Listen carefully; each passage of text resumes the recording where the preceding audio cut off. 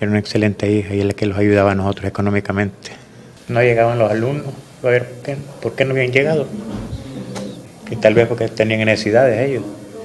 Entonces lo que hacía ella es, cuando podía les compraba cuadernos, algunos le llevaba bolsones.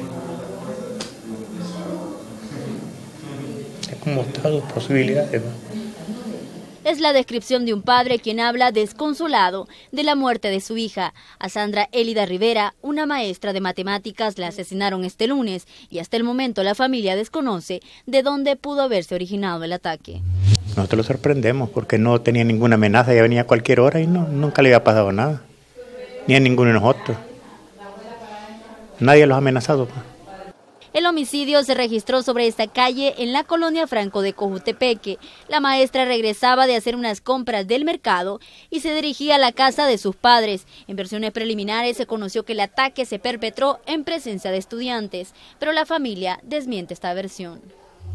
Venía sola solo con la niña de, él. Sí, venía, venía para acá, para la casa, a almorzar venía, y a llevarle unos, unas cosas que había arreglado para sus alumnos, para que comieran para festejar por el Día de la Amistad. Sandra Elida Rivera tenía 40 años y desde hace cuatro trabajaba como maestra de matemáticas en el Centro Católico de San Sebastián. Una mujer entregada a la docencia, asegura su esposo. Era dedicada completamente a su trabajo a sus alumnos, se esmeraba por ellos, repetía exámenes una y otra vez, inventaba muchas maneras con tal de que los alumnos entendieran, pusieran atención. Casualmente ella vive aquí, cerca de su escuela donde laboraba y hasta ahorita todavía nos preguntamos qué pasó, por qué. No sabemos, solo se lo dejamos a Dios.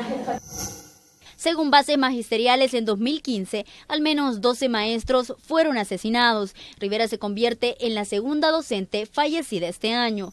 Hasta el momento, ni la familia ni la policía tiene una hipótesis clara sobre las causas de su muerte. Hace al menos seis años, la fallecida perdió a su única hija durante un ataque perpetrado en una unidad de salud de la localidad. La familia no vincula ese hecho con la muerte de la maestra. Yo no creo que haya alguna relación. Ahí fue por equivocación, a saber qué pasó. La delincuencia continúa atacando al sector estudiantil y docente. Según bases magisteriales, en un 90% de las escuelas del país hay presencia de pandillas. Con imágenes de Manuel Velázquez, un informe de Raquel Herrera.